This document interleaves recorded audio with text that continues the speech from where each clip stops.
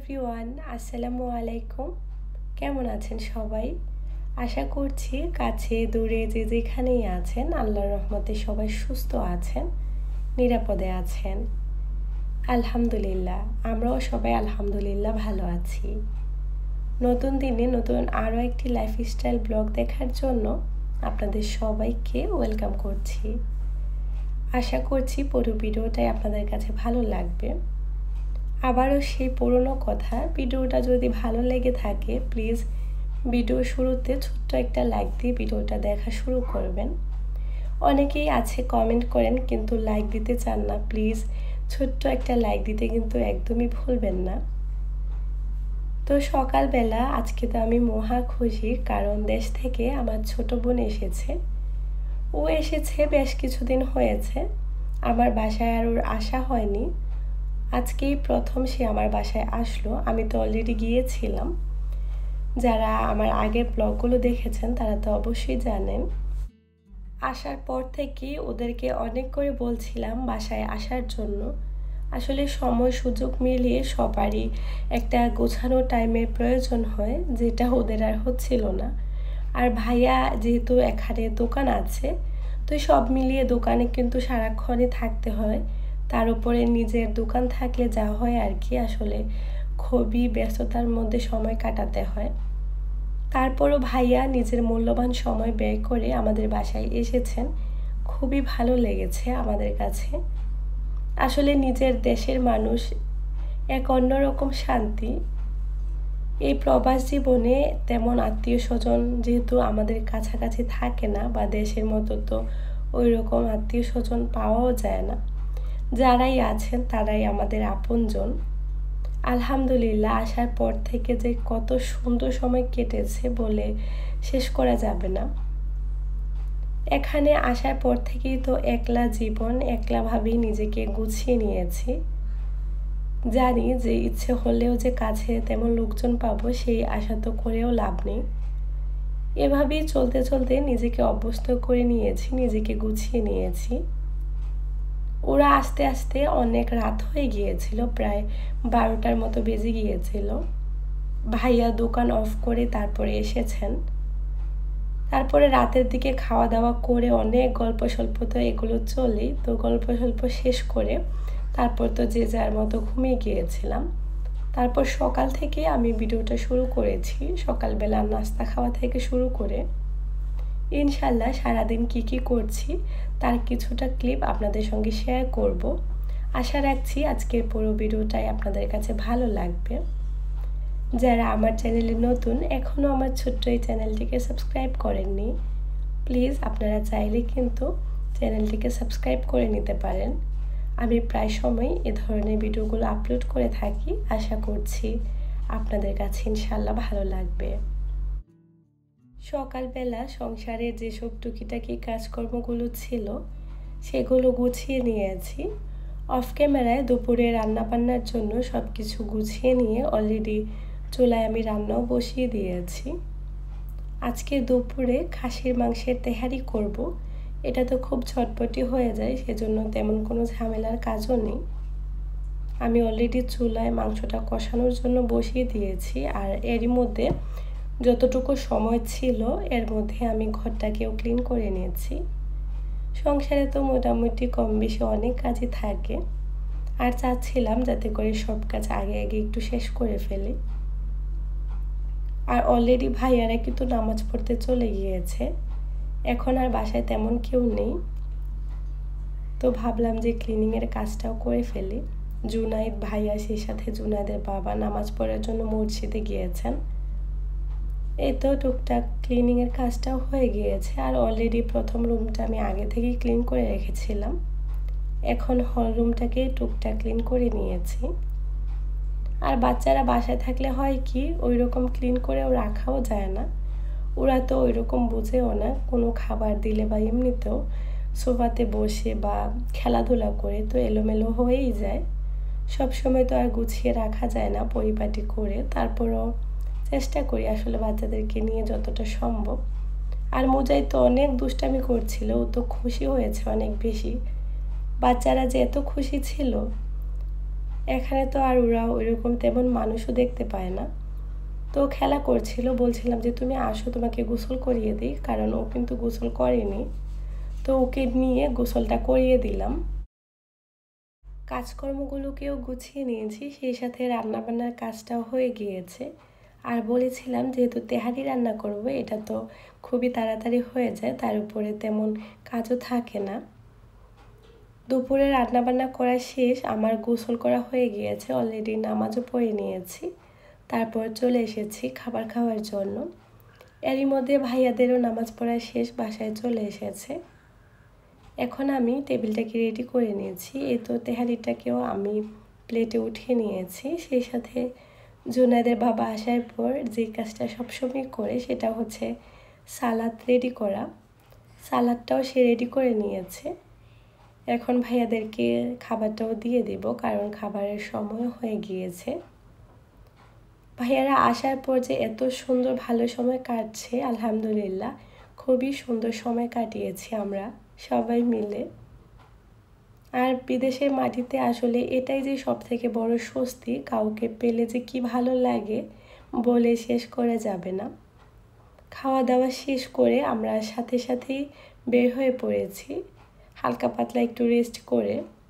কারণ ভাইয়ারা এসেছে প্রথম ওদেরকে নিয়ে ঘোরার জন্য। আমরা চলে এসেছি আজকে সিটি সেন্টার আমরা তো অনেক, অনেকবারই আসি আর ওদের তো আর তেমন একটা সুযোগও হয় না। যে ওরা আসবে। তো ভাবলাম যে এখান থেকে একটু ঘুরে আসি, তারপর আবার আমরা অন্য একটা জায়গায় ঘুরতে যাব। মলে আসার পর আমরা যে যার মতো ঘুরছিলাম, সেই সাথে অনেক অনেক ছবি উঠানো হয়েছে আর গল্প, হাসি, ঠাট্টা এগুলো তো আছেই। এত সুন্দর সময় কেটেছে। অনেক অনেক ভালো লেগেছে আসলে। আমাদের কাছে তো আরও বেশি ভালো লেগেছে কারণ এই প্রথম কোনো আপনজনকে নিয়ে আমরা মলে ঘুরতে এসেছি। এই সুযোগটা কিন্তু সব সময় হয়ও না, কারণ এই দূর প্রবাসে আসলে আপনজনকে খুঁজে পাওয়া বড়ই মুশকিল। ইচ্ছে থাকলেও আসলে তাদেরকে কাছে পাওয়া যায় না। সেটা দেশের কেউ হোক বা পরিবারের লোকজন অথবা নিজের পরিচিত কেউ। অনেক অনেক ভালো লাগার কাজ করে। যখন ভিডিওটা এডিট করছিলাম নিজের কাছে খুবই ভালো লাগছিল। মানে এত আনন্দ লাগছিল যে আসলে এই সময়গুলো আমরা কাটিয়েছিলাম। মানে পুরো স্মৃতি হয়ে রয়ে গিয়েছে আসলে। ভালো সময়গুলো খুব তাড়াতাড়ি চলে যায়, কিন্তু স্মৃতি হয়ে সবার মনের মধ্যেই রয়ে যায়। যেমন এই সুন্দর সময়গুলো ক্যামেরাতে ক্যাপচার করাতে স্মৃতি হয়ে রয়ে গিয়েছে। এরই মধ্যে আমরা চলে এসেছি সেন্টার পয়েন্টে। এখানে আসার পর যে যার মতো ঘুরছিলাম, আমরা চলে এসেছি জুয়েলারি সেকশানে যেখানে রিং সেই সাথে কানের দুল পাওয়া যায়। তো ভাবলাম এগুলোকেও একটু ঘুরে ফিরে দেখি যে কী কী কালেকশন এসেছে। বরাবরের মতো এটার মধ্যে কিন্তু সবসময় খুবই ইউনিক জিনিস থাকে। সেই সাথে প্রতিটা জিনিসই কিন্তু অনেক বেশি পছন্দনীয়। এটাতে আসলে আমার কিন্তু এমনিতেও খুবই ভালো লাগে, কারণ প্রতিটা জিনিস এত সুন্দর করে সাজানো থাকে যে মানে চোখ ফেরানোর মতো না, ছোট ছোট কর্নারগুলো এত ইউনিকভাবে গুছিয়ে রাখে। দেখতে যেমন ভালো লাগে, সেই সাথে ঘুরতেও অনেক বেশি ভালো লাগা কাজ করে। যে কোনো জায়গায় যখন সাজানো গুছানো থাকে, সেই জায়গাতে নিজের এক অন্যরকম ভালো লাগা কাজ করে। আজকে তো আমাদের আনন্দতার দ্বিগুণই ছিল, কারণ নিজের আপনজনদেরকে নিয়ে ঘুরতে পেরেছি। ওদের কাছেও ভালো লেগেছে, সেই সাথে আমাদের কাছে তো আরও ভালো লেগেছে। এখন আমরা মার্কেট থেকে বের হয়ে পড়েছি, এখন অন্য একটা জায়গায় যাচ্ছি। আর যাওয়ার পথে রাস্তার চারপাশের ভিউটা যে এত সুন্দর ছিল মানে চোখ ফেরানোর মতো না। আল্লাহ পাকের অপূর্ব সৃষ্টি দেখছিলাম, সেই সাথে উপভোগ করছিলাম। আল্লাহ পাক কত সুন্দর করে না আমাদেরকে বানিয়েছেন, কত সুন্দর করে দুনিয়াটাকে সাজিয়ে দিয়েছেন। সব কিছুর জন্য আল্লাহ পাকের দরবারে লাখো কোটি শুক্রিয়া। আসলে এই সৌন্দর্য কখনো ক্যামেরায় ক্যাপচার করার মতো না। চোখের সৌন্দর্য চোখ দিয়ে দেখলেই বেশি ভালো লাগে, যেটা কিনা ক্যামেরাতে হাজার চেষ্টা করলেও ক্যাপচার হয় না। ভিডিওতে যত তারা দেখতে ভালো লাগছিল, তার থেকে দ্বিগুণ ভালো লাগছিল নিজের চোখ দিয়ে দেখতে মাশাল্লাহ এরই মধ্যে আমরা যে গন্তব্যে আসার কথা সেখানে অলরেডি চলে এসেছি। এখানে কিছু সময় ঘুরবো।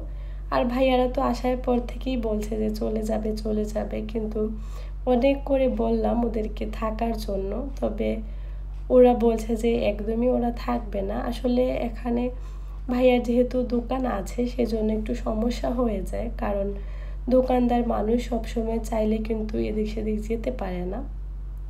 তো সেই জন্য বলছিলাম যে আগে ঘোরাটা শেষ হোক, দেয়া তারপর হয়তো বা দেখা যাবে যে কি হয়।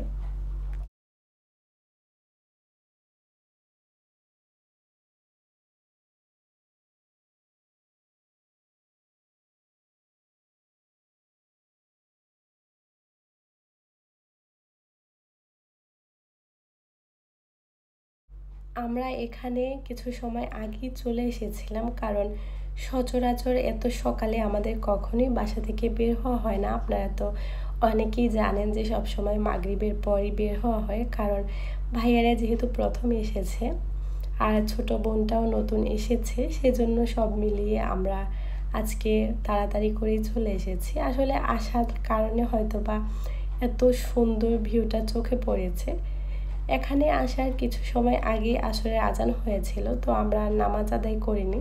ভাইয়ারা নামাজ আদায় করার জন্য চলে গিয়েছিলেন, পরে আমরাও নামাজ পড়ার জন্য উপরে গিয়েছিলাম। সেখান থেকে একটু ভিউ নিয়েছিলাম, এত সুন্দর মাসাল্লাহ কি বলব? খুবই খুবই ভালো লেগেছে। এখন আমরা একটু সামনের দিকে এগিয়ে যাচ্ছি। সামনে গিয়ে যে যার মতো আসলে ওই হয় আর কি, যে সবাই একসাথে হলে যা হয় আর কি। সবাই যে যার মতো সুন্দর সময়গুলোকে ক্যামেরায় বন্দি করে রাখতে চায়।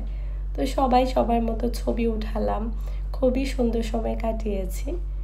তবে বরাবরের মতো এই সুযোগটা কিন্তু সব সময় হয় না যে আমরা যে বাহিরে যাই কখনো কিন্তু ফ্যামিলি পিকচার উঠাতে পারি না। আজকে ভাইয়ারা এসেছে, এই উসিলা একটু ছবিও উঠিয়ে নিলাম।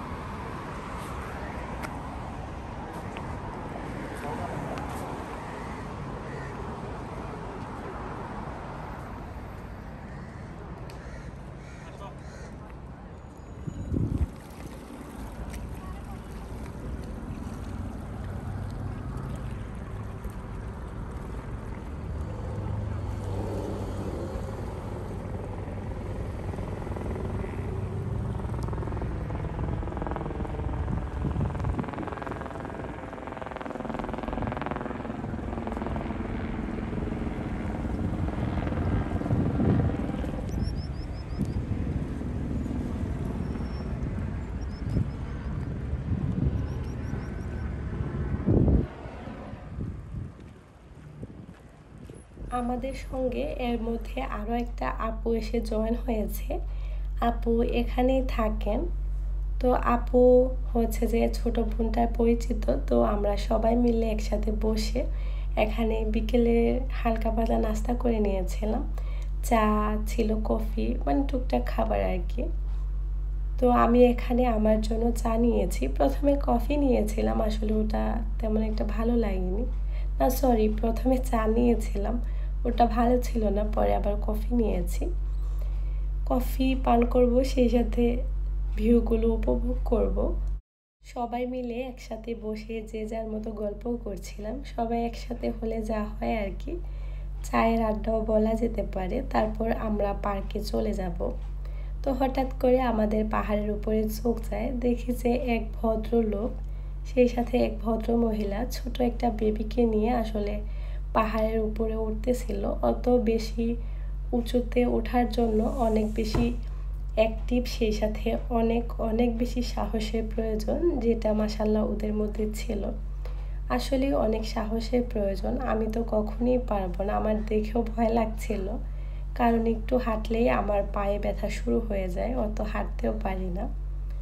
আজকে বয়স দিতে আমার খুবই কষ্ট হচ্ছিল, বারবার বয়সের মাঝখানে কাশি আসছিল মানে কথাই বলতে পারছিলাম না। অনেক দিন যাবৎ এত কাশি আর গলা ব্যথায় ভুগছি, আসলে বলে শেষ করা যাবে না। ওষুধও খাচ্ছি, কিন্তু কোনো উপকারই পাচ্ছি না, এরকম অবস্থা।